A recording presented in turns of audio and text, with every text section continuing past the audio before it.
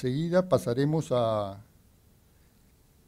la suscripción de los contratos, en primer lugar de los contratos de concesión. Son dos, como dije anteriormente, de la línea y de la, de la subestación, y lo van a suscribir el director general de electricidad, señor David Arias Díaz, en nombre del Estado peruano, y el señor Carlos Mario Caro Sánchez, representante legal de la sociedad concesionaria, consorcio Transmantaro. Suscrito los contratos de concesión, vamos a la suscripción de del contrato de garantías en nombre del Estado por las declaraciones del concedente. Las suscribirá el viceministro de Energía, ingeniero Ewin Quintanilla Acosta, y en representación de la sociedad concesionaria Consorcio Transmantaro S.A., el señor Carlos Mario Caro Sánchez. Esta línea de transmisión es una línea que estará en operación en el 2016, o sea que más o menos la concesión es hasta el 2046, porque nosotros siempre nos gusta trabajar en el largo plazo. La línea de construcción de Frías Patas, Mollepata y la subestación Orcotumna es muy importante porque va a mejorar la confiabilidad en el centro del país, en las regiones de Aguancabelica, Ayacucho y Junín, y mejorará todo lo que es el Valle del Mantaro. Uno cada vez ve más el Perú, cada vez con más líneas y lo ve con una disponibilidad cada vez mayor, con una gran confiabilidad en el sistema. Eso nos permite estar tranquilos para seguir los otros proyectos que se van desarrollando en todas las regiones. Para nosotros, en Proinversión, señor viceministro Edwin Quitanilla, es un eh, gran honor poder culminar otro proceso eh, que ha sido encargado, que ha sido confiado, que fue confiado por el Ministerio a Proinversión.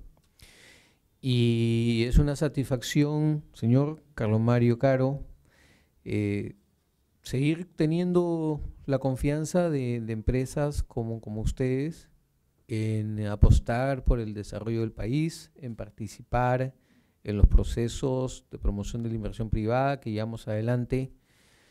Y, es pues también una satisfacción tener el conocimiento de este plan energético que el Ministerio ha lanzado, como, como ha dicho el señor Caro, eh, saber que vienen 1.700 millones en inversión en transmisión y distribución de electricidad entre el 2014 y el 2025 es una muestra de que el Perú tiene un futuro trazado. Con estos dos proyectos, con la línea de transmisión Friaspata, Mollepata, en, en Huancavelica y Ayacucho, y con la subestación de Orcotuna en Junín, estamos eh, consolidando el proceso de desarrollo de los pueblos andinos peruanos,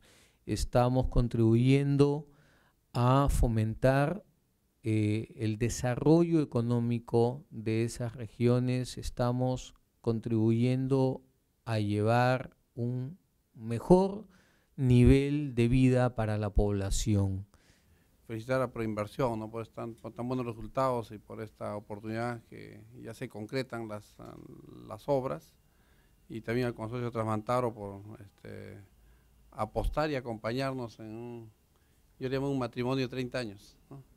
Este, y eso es bueno, creo que en realidad es una, una, asociación público-privada que implica un compromiso privado y un compromiso, un compromiso público también. ¿no? y en particular aportes como los que hoy día nos convocan, que me parece que son fundamentales ¿no? en zonas de, mucha necesidad y nos alegra mucho que, por ejemplo, ya Ayacucho con esta obra tendrá un suministro fundamental, ¿no? una línea de 220 kilovoltios, eh, un lugar que ha empezado, ha iniciado su desarrollo luego de tener muchas décadas de, problemas sociales. Creo que en esto, eh, si bien es cierto, tenemos un plazo de, eh, de construcción, estoy seguro que Transmantaro nos sorprenderá y, este, y nos sorprenderá gratamente porque el país necesita esas líneas en realidad con más, eh, eh, digamos, con, más rapidez, con más, más antelación. Igual Orcotuna, que también es una región del centro,